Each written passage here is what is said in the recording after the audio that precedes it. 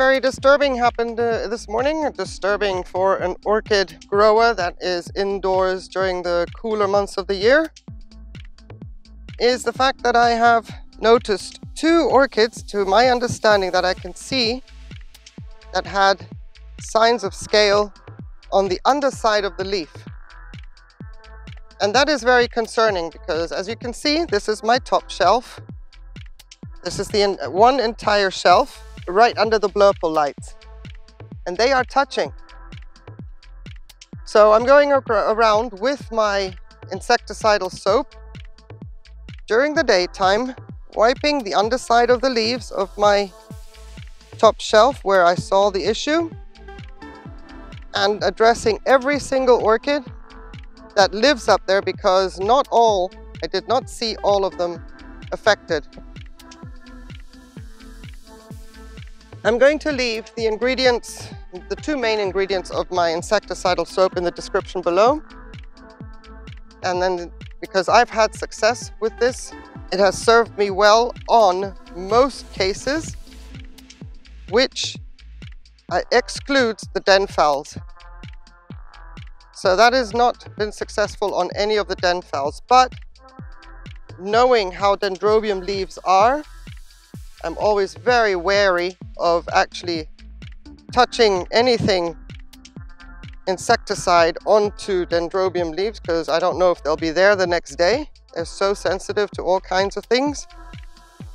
So my Latouria dendrobiums have had, have been fine with these two main ingredients in the insecticidal soap. I have not lost a leaf and the pest issue was dealt with, not with Dendrobium phalaenopsis. I hate doing my Digbyana here. This is Brassavola digbyana. I hate doing this to her because I love the glaucous effect and I don't want to disturb what, how it grows naturally. But boy, if she gets scale, I am going to be so upset. So, needs must, I'm addressing her as well. And what I'm doing right now, yes, with the same cloth, but as I'm always dipping into the fresh batch of insecticide, I'm okay. I'm also doing the underside of the leaves because it is daytime and the stomatas are closed. Normally I wouldn't even dare do this. They open at night, so I'm okay with that. I don't know what is lurking in there, but it's coming out. Now these guys that I'm addressing first have nothing wrong with them. I didn't see anything. Doesn't mean that there isn't anything. Just means that I am not touching the ones that I saw and wiping them down first and then getting to the ones that are good. So I'm avoiding as best as I can to transfer any kind of dangers to my orchids. I wanted to also, that's not it, I wanted to do an update on these. So if you like, then stick around. When I'm done, I'll show you what's going on. We haven't seen the top shelf at all since they've moved in. Make sure I get it all. We have had such a mild winter. So incredibly warm I mean, for me, it's still cold and they can't live outside in the evenings, but it's not nothing compared with last year. And on top of that, the bugs don't die off. The ones that became adults in our late Indian summer, which was exceptionally warm, we had temperatures up to 30 degrees as well, they didn't die off and they laid eggs and the night temperatures are not in any position at this point to kill off any of the little ones that have hatched. So the cycle continues. I'm also going to check all the deposits. The weight is fine, I can tell by weight, but sometimes I'm mistaken because roots have grown, making the pot heavier, and it turns out that in actual fact, the pot, the deposit, the reservoir is empty. Doesn't mean the microfiber is dry, but the reservoir is empty. And of course, now that I've got some kind of an oil on my hands, I can't remove them. But yeah, I'm just going to take the opportunity as well to check the deposits and fill them up based on what the orchid needs and is doing. This is my durian, she's not doing anything. In here, I would only put plain RO water. The ones that are growing, I check their reservoirs regularly and they actually do get fertilizer, even if it is winter. Insecticide soaked microfibers wrapping around sheaths. This is my Golf Green Hair Pig. This helps me loosen up the sheaths. I was not going to fiddle with it, seeing as it is in sheath as well, and there's beautiful swelling, so I'm hopeful for some blooms, and I didn't want to bother it. It was doing well where it was sat, but under these circumstances, it's not happening. So the sheath is coming off. I shall fiddle, but first, soaking microfibers in insecticidal soap in order to soften them up and make my process a little bit more easy. You can see I've already removed the bottom there. That was a while ago.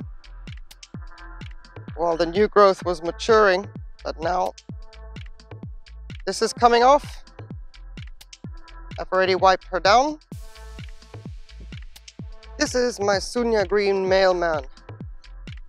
Left it for last because this is where I saw what I believe to be scale on the underside of the leaves this morning, which I dealt with very quickly with alcohol and my paintbrush. But looking at it from underneath at a distance is not the same as taking the orchid down and rubbing her down. I do not see, I mean, I had a good look at her before I switched the camera on so as not to waste your time. But I do not see anything ha harboring, manifesting itself on the pseudobulbs as such. But I am almost certain that what I saw this morning was the sign. And I have on my golf Green Hair Pig, I had a little thing and it has left a pitting in the cell structure of the top side of the leaf. And whoa, yeah, no, not happening. So this was the one that really, I saw them. Uh, again, it look, it's not much. But that's how it starts. They're not much, they're not big, but the takedown is fast. And that would annoy me. So another thing I've done with all of these that are not in sheath, sprayed into the apex of the orchid with alcohol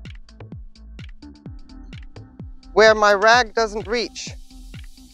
So I've done that with all of them, whether they're old growths, just finished blooming growths of this season. I can't do that if there's a sheath in there, but all the other ones have been dealt with like that.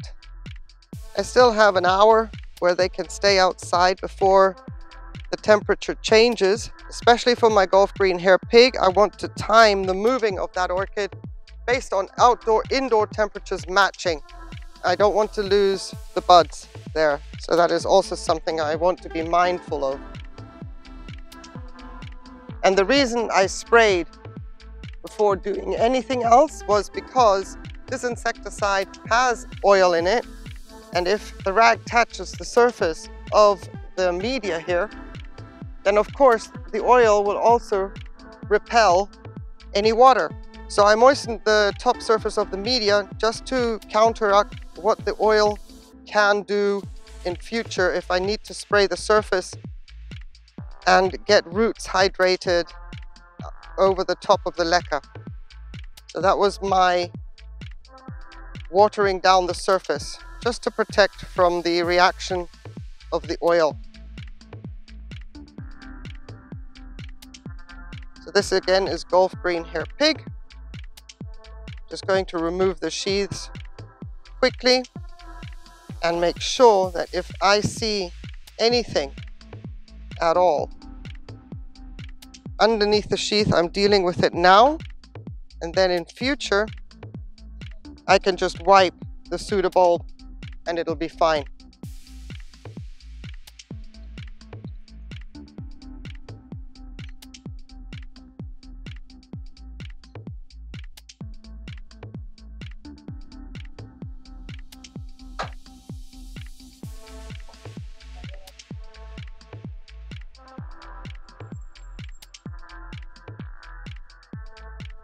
Look at this. Look.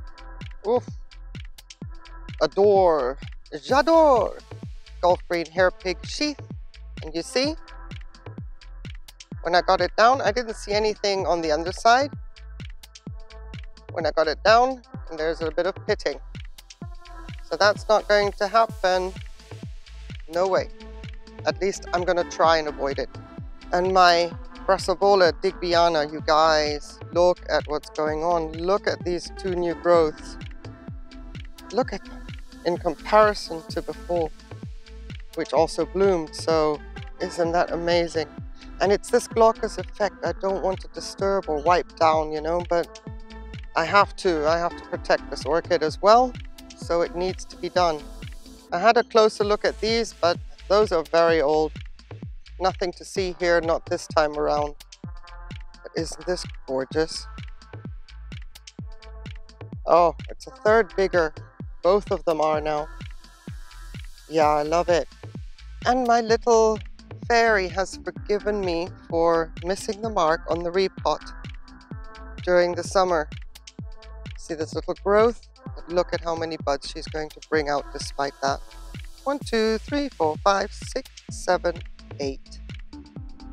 And that despite being half the size of the previous year's growth. And I only got nine buds last year. So not too shabby, very happy, thank you very much. So for now, they're just going to sit out here, chill out and uh, dry off a little bit. And eventually the tetras on the top shelf will commence and then they'll be all okay. And then tomorrow I'll deal with the lower shelf and see what goes on down there and then keep a very, very close eye. Thank you so much for joining me. I appreciate it. Have yourselves a wonderful, wonderful day. Take care. Bye.